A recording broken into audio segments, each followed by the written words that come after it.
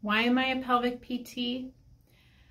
I had a C-section when I was 18 and did not have any direction or guidance in the healing process. Did not know that I would be at risk for diastasis recti and didn't learn these things until I actually went to PT school, looked back and realized, why didn't anyone tell me about scar massage?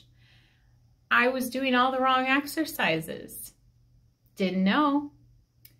And fast forward, I have had three C-sections and still to this day, no one has ever told me that information.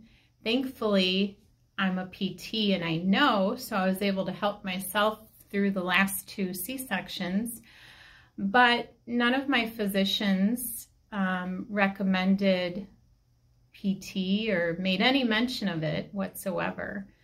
And really, women should be provided with that information regardless of the type of birth you have because it is critical for healing and preventing issues later on.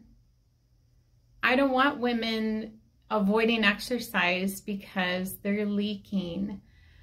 Um, I don't want women suffering with pain or having body confidence issues because there's an issue with the abdominal wall, such as diastasis recti.